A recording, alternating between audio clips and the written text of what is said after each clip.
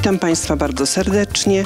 Nazywam się Anna Bielicka, y, jestem dyrektorem Powiatowej Biblioteki Publicznej w Otwocku.